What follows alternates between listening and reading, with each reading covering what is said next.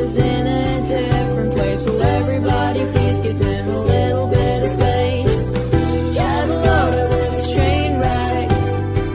His hair's a mess and he doesn't know who he is yet.